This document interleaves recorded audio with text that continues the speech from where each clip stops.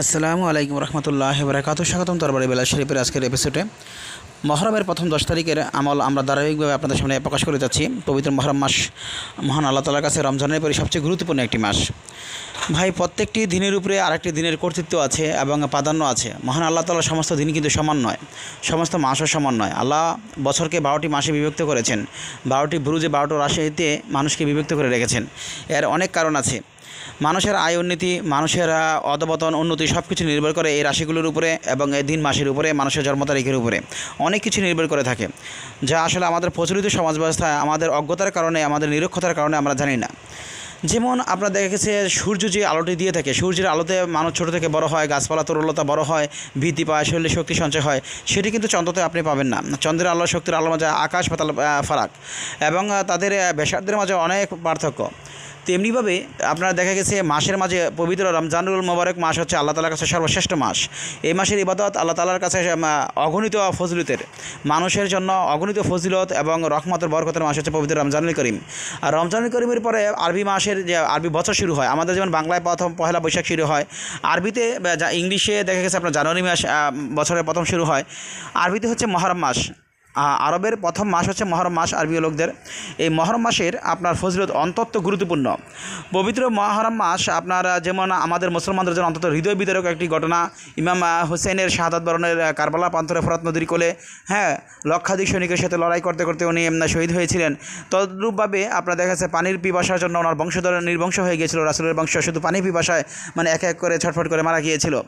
এরকম হৃদয় বিতরক ঘটনার পাশাপাশি মহরম মাস কিন্তু পবিত্র রমজান মাস আসার আগে আল্লাহ তালা এই মহরম মাসের রোজাগুলোকে ফরজ করে রেখেছিলেন। যখন পবিত্র কোরআন করিম নাজিল হয়েছে, নবী করিম সাল্লাহ আলাইসাল্লাম নবুদপ্রাপ্ত হলেন, তখন তিনি আল্লাহ তালার কাছ থেকে এই মহরম মাসের পরিবর্তে রমজান মাসে তিরিশটি রোজার হুকুম পেয়েছিলেন। সেই ক্ষেত্রে আপনারা বলতে পারি, যেহেতু মহরম মাসের রোজাগুলো আগে ফরজ ছিল, অন্তত গুরুত্বপূর্ণ, অন্তত ফজিলতপূর্ণ, যারা রোজাগুলো রাখবেন, অন্তত ফজিলতপূর্ণ, সারা বছর ইবাদত করা, সারা বছর রোজা রাখার স্বভাব পাবেন এবং সমস্ত বছরের গুণাগুলো আপনার মাফ হয়ে যাবে। তথাপি এটি ফরজ নয়, আপনি রাখতেও পারেন, নাও রাখতে পারেন। যেহেতু রমজানের রোজাকে ফরজ করে দেওয়া হয়েছে, মহরম রোজাকে ফরজ করা হয়নি, এটি এখন নফল ইবাদত। তো মহরম মাসে আপনার, আমরা যে আবাদতগুলো আপনাদেরকে দিয়ে যাচ্ছি, যে অজিফাগুলো দিয়ে যাচ্ছি, ভাই, এই অজিফাগুলো আমরা যুগ যুগ ধরে আপনার দেখা গেছে বংশপরক্রমায় এবং বিভিন্ন অলি অলিদের কাছ থেকে আমরা প্রাপ্ত এবং বিভিন্ন রেওয়াজ থেকে প্রাপ্ত। এই আমলগুলো অন্তত গুরুত্বপূর্ণ হয়ে থাকে। আমাদের সমাজ ব্যবস্থায় এক শ্রেণির আলেম এই মহরম মাসে শবে বারাত, শবে কদর, লাইলাতুল কদর রাত্রিতে ইবাদতগুলো নষ্ট করে দিয়েছে। তারা মানুষকে বুঝিয়েছে যে এই রাত্রে ইবাদত করার কোনো প্রয়োজন নেই, এই রাত্রে গরিব দুঃখীকে দান খরচ করার পিঠা পায়েস দেওয়ার কোনো প্রয়োজন নেই। এই ধরনের ইয়াজিদি বংশধররা, এই ধরনের ইয়াজিদের মোনাফিকি রক্ত যাদের শরীরে আছে, তারা নামদারি মুসলমান, বেশদারি মুসলমান, তাদের তো দাড়ি টুপি পায়জামা, পাঞ্জাবি অথবা পাগড়ি দেখে মনে হবে সাচ্চা ইমানদার ব্যক্তি, আল্লাহর অলি বুঝি, কিন্তু এগুলো শয়তানের কিট। শয়তান শুধু শয়তান নয়, শয়তানের শরীরে নোংরা কিট, শয়তানের যেই জাহান নামের পুজ ওই পুজোর রক্তে তৈরি এইগুলো এই ধরনের আলেম সমাজগুলো। যারা মানুষকে দিনকে দিন দিনকে দিন ভুল বুঝিয়ে মানুষের ইমানকে নষ্ট করে ইসলাম থেকে দূরে সরে দিয়েছে, রাসুলের আওলাদ থেকে দূরে সরে দিয়েছে, রাসুলের মহব্বত থেকে দূরে সরে দিয়েছে, রাসুলের প্রতি পরিপূর্ণ ভক্তি, ভালোবাসা থেকে মানুষকে গাফেল করে দিয়েছে। এই ধরনের জাহান নামের কিটগুলো থেকে সাবধান থাকবেন, আমি বারবার বলি, এরা জাহান নামের নি- নিকৃষ্ট কিট। এরা সাত নাম্বার হাবিয়া দজিকের অধিবাসী এরা। এরা মোটেও আলম সমাজ নয়, এরা বেশদারি, শয়তান শয়তান শয়তান এগুলো।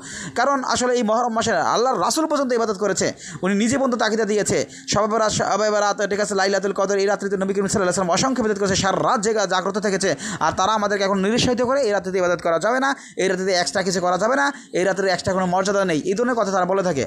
তদ্রূপভাবে মহরম সম্পর্কে ওদের বিভিন্ন মা- মাসালা দেখা যায় যে মহরম মাসে মাতম করা যাবে না, মহরম মাসে এটা করা যাবে না, নফল আবাদত করা যাবে না, মহরম মাসে রোজার এত প্রাধান্য দেওয়া দরকার নেই। আসলে ভাই, ওরা ইয়াজিদি শিক্ষায় শিক্ষিত। নবী করিম সাল্লাহ সাল্লামের চলে যাওয়ার পর, সাড়ে চারশত বছর পর, ঠিক আছে, যখন এই কিতাবগুলো লিপিবদ্ধ হয়েছে, ওই কিতাবগুলোর মাঝে ওরা এমন কিছু সন্নিবেশিত করে রেখেছে ইয়াজিদপন্থীরা দুইশত আপনার সত্তর বছর পর্যন্ত আপনারা ইসলাম ব্যবস্থা শাসন করেছিল নবীর বংশ ধ্বংস হয়ে যাওয়ার পর। এই দুইশত সত্তর বছর ওরা বিভিন্ন জিনিস সংযোজন বিয়োজন করেছে, ওই শিক্ষাগুলো আজও পর্যন্ত চলে আসে, যুগ যুগ ধরে। এবং ওই শিক্ষা শিক্ষিত হয়ে যারা নিজেদেরকে ইমানদার দাবি করে রাসুলের দেখেছে আশেক দাবি করে, তারা মোটেও রাসুলের আশেক নয়। তারা বিভিন্ন জিনিসকে বেদাত বলে চালিয়ে দিয়ে থাকে। আসলে বেদাত তারা নিজেরাই করে থাকে।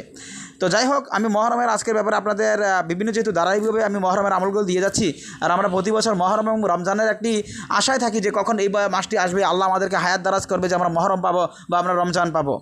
যাই হোক, আমরা রমজান পেয়েছি, আল্লাহ তালা আমাদেরকে তৌফিক দান করেছেন, এখন যেহেতু মহরম পেয়েছি, মহরমের দশটি রোজা যারা পারেন, প্রত্যেকে রাখবেন। এই দশটি রোজার ভিতরে আপনি দশ কুড়ি চান, দশ লাখ চান, যা চান তা পাওয়া সম্ভব আপনার পক্ষে। যদি শুধু- শুধুমাত্র আপনি প্রসেসগুলো জানেন, তো প্রসেসগুলো আমি ধারাবাহিকভাবে বলে যাচ্ছি, মহরমের চাঁদ দেখার আমল আমি দিয়েছি, মাগরিবের রক্তের পর আমল এশা রক্তের পর আমল এবং ফজর রক্তের পর আমল।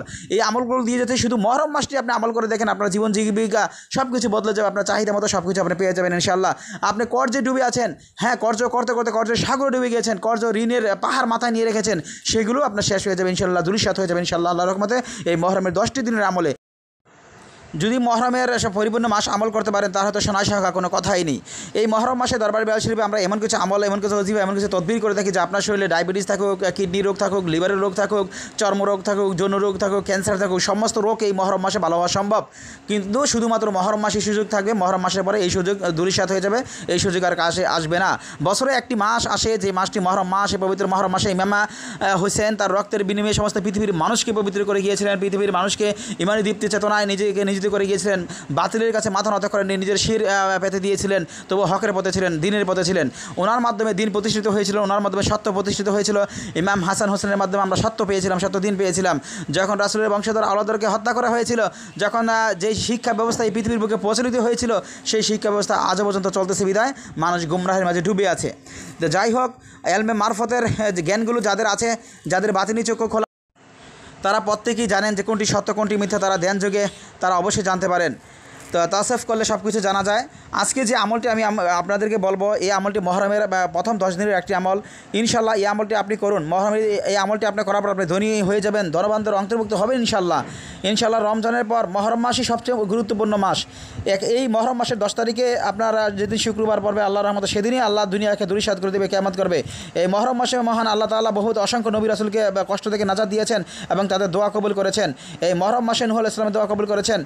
এই মহরম মাসে ইউনুস আলাহ সালামের দোয়া কবুল করেছেন। এই মহরম মাসে মহান আল্লাহ তাআলা অসংখ্য নবী রাসুলকে নবুত প্রাপ্তি দিয়েছেন। তো এই মহরম মাস অন্তত গুরুত্বপূর্ণ একটি মাস। এই মহরম মাসে আপনি যেই আবাদতগুলো করবেন, এই আবাদতগুলো আপনার অন্তত ফজলুৎপূর্ণ হয়ে থাকবে। যে কোনো প্যারেশানিতে আপনি ডুবে থাকেন না কেন, আপনি একটি কাজ হচ্ছে, বা- হচ্ছে না, কাজটি হয়েও হচ্ছে না, সেই কাজটি আপনার হয়ে যাবে। যে কোনো কাজে বাধা বাধা বিপত্তি দূর হয়ে যাবে। যে কোনো কাজে আপনি ফজলুত পেতে চাচ্ছেন রকমত বরকত পেতে চাচ্ছেন, কিন্তু কাজটি আপনি মন মতো করতে পারতেছেন না, বা একটি বিল পাস করতে পারতেছেন না, অথবা অবশ্যই আদালতে আপনি ছুটি মঞ্জুর করতে পারতেছেন না, বেতন বৃদ্ধি করতে পারতেছেন না হ্যাঁ বসকে বলে মন জয় করতে চাচ্ছেন, অথবা আপনার বিবাহ হচ্ছে না, অথবা সংসার অভাব দূর হচ্ছে না, যাই হোক না কেন, পেরোশানি আপনার যাই হোক না কেন, দুশ্চিন্তা টেনশন আপনার যাই হোক না কেন, এই মহরম মাসের এবাদতগুলোতে আপনার সমস্ত সব কিছু ধুয়ে মুছে সাফ হয়ে যাবে ইনশাআল্লাহ। আপনাকে শুধু ইমাম হাসান হোসেনের প্রতি মহাব্বত হাজরত আলী মাহফাতের প্রতি মহাব্বত রাখতে হবে, রাসুল প্রতি মহাব্বত রাখতে হবে। দরবারি বেলা শরীফে আপনি একটা মান্যত রাখবেন, যেহেতু দরবারি বেলা শরীফ এই আমলগুলো চিন্তা করে আপনাদের কাছে দিচ্ছে, এবং দরবারি বেলা শরীফ এতিম, অসহায় মানুষের জন্য এবং এই শ্রেণির মানুষের জন্য কাজ করে যাচ্ছে। তো যাই হোক, আপনি একটি সৎকা করে যা আপনার সামর্থ্য আছে বর্তমানে সেই সামর্থ্য অনুযায়ী সৎকা করে আপনি আমলটি শুরু করে দিবেন এবং আপনি দরবারি বেলা শরীফে আপনি কোটি টাকা পর্যন্ত হোক ভাই, আপনি মান্যত রাখবেন ইনশাল্লাহ আপনার যদি কোটি টাকা প্রয়োজন পড়ে, মান্যতের ব্যাপারটা সেটিই রাখতে হবে আপনাকে। এখন আপনার এক হাজার টাকা প্রয়োজন, আপনি দশ টাকা মান্নাত করছেন, হবে না, একশো টাকা মান্নাত করতে হবে। সেই অনুযায়ী আপনি মান্নাত করতে হবে, তাহলে আল্লাহ তালা আপনাকে অত দ্রুত সময় দেবে। আর এতিম অসহায়দেরকে আপনি ফিরিয়ে দেবেন না কখনো সময়। মহরমের এই আমলটি অত্যন্ত গুরুত্বপূর্ণ মনোযোগ দিয়ে শ্রবণ করবেন। সুরা কাউসারের একটি আমল আমি আপনাদেরকে দিচ্ছি। সুরা কাউসার আশা করি সকল মুসলমানই জানে। মহরমের চাঁদ দেখার পর থেকে নিয়ে। আমরা জানি যে সন্ধ্যার সময় চাঁদ উঠে থাকে, তো মহরমের চাঁদ দেখার পর থেকে নিয়ে আপনি আমলটি শুরু করে দেবেন হতে একদম মহরমের প্রতিটি দিন আমলটি করবেন। মাগরিবের নামাজের পর দুই রাকাত নফল নামাজ পড়বেন। প্রথমে মাগরিবের নামাজ আদায় করবেন, মাগরিবের নামাজ আদায় করার পর দুই রাকাত নফল নামাজ পড়বেন। দুই রাকাত নফল নামাজ পড়ার পর সাতবার দুরুদ ইব্রাহিম পড়বেন। সাতবার দুরু শরীফ পাঠ করার পর দুই শতবার সুরা কাউসার আপনি পাঠ করবেন। দুই শতবার সুরা কাউসার পাঠ করার পর আবার সাতবার দুরু শরীফ পাঠ করে মহান আল্লাহ তালার কাছে হাত তুলবেন এবং তার কাছে আপনি যা চাওয়ার চাইতে পারেন। এই আমলটি আপনার জীবনে খুশি আর খুশি নিয়ে আসবে। জান্নাতের বাগান ফুলসজ্জা হয়ে যাবে আপনার জীবনে ইনশাল্লাহ পুষ্পসজ্জা হয়ে যাবে। আরে দশ লাখ হোক আর দশ কোটি হোক না কেন আপনার কর্জ বা যতই আপনার চাহিদা হোক না কেন সেটি ইনশাল্লাহ পূর্ণ হয়ে যাবে। মহান আল্লাহ তালার কাছে কি দেওয়ার অভাব আছে নাকি? তার ভান্ডার কি কখনো ফুরিয়ে যাবে নাকি আপনাকে দিলে? ইনশাল্লাহ আপনি চেয়ে থাকেন, আল্লাহর কাছে বড় আশা করেন, আপনি দুহাত তুলে চান, আপনি মান্নত করেন আল্লাহ তালার কাছে। আপনি যেখান থেকে আমলটি করতেছেন দরবারি বেলা শরীফে আপনি যোগাযোগ করেন আর আমলটির জন্য এজাজের জন্য কমন বক্সে ইয়া আল্লাহ ইয়া মোহাম্মদ সাল্লাহ আল্লাহ আলহামদুলিল্লাহ আল্লাহ আকবর ইলাহা ইল্লাল্লাহ ইনশাল্লাহ এই জাতীয় মাশাল্লাহ শব্দগুলো লিখে লিখে দেবেন, আল্লাহর রহমতে আপনার আমলগুলো অতি দ্রুত সময়ে কাজ করবে। আর যদি আপনি আমলটি, চ্যানেলটি সাবস্ক্রাইব করার পর লাইক করেন এবং বিভিন্ন মানুষকে শেয়ার করে থাকেন, যদি চল্লিশ জন মানুষ আপনার সাথে সাথে শব্দগুলো বলে থাকে এবং আপনাকে দেখা গেছে আলহামদুলিল্লাহ বলে সোহান আল্লাহ আলহামদুলিল্লাহ আল্লাহ জাতীয় তসবিগুলো বলে ইনশাল্লাহ বলে মাশাল্লাহ বলে, তাহলে আপনার আমল হান্ড্রেড পার্সেন্ট কাজ হবে, এটি নিশ্চিত ধরে রাখেন। তো যাই হোক, আমলটি করার জন্য আপনাদের জন্য আমি আপনাদেরকে এজও দিয়ে দিচ্ছি ফিসাবিল্লাহ আপনারা যারাই কমেন্ট বক্সে লিখতে পারেন, লিখবেন, যারা লিখতে পারেন না, তারা আমলগুলো পাঠ করে আপনারা সবগুলো রাসুল করিম সাল্লাহ সাল্লাম পাক হাসান হোসেন, মা ফাতেমা হজরত আলী নবী করিম সাল্লাহ সাল্লাম, বরবির আব্দুল কাদের জিলানি শাহিল্লাহ রহমতুল্লাহ আল্লাহ রুমানকে আমল নামাজগুলো রাসানি করে দিবেন। যদি মনে করেন এই আদমকে দোয়া শরিক রাখবেন, দরবারি বেলা শরীফের প্রত্যেক জিন্নাত ফেরেস্তা মাক্কালগঞ্জ যারা আছে, যারা দরবারি বেলা শরীফের বক্তব্য আশেখান আছে, মরিদান আছে, প্রত্যেকের জন্য একটু দোয়া তুলে দোয়া করবেন। প্রত্যেকে আপনাদের জন্য দোয়া করে থাকে। অসংখ্য ধন্যবাদ। ভালো থাকবেন। আল্লাহ হাফিজ।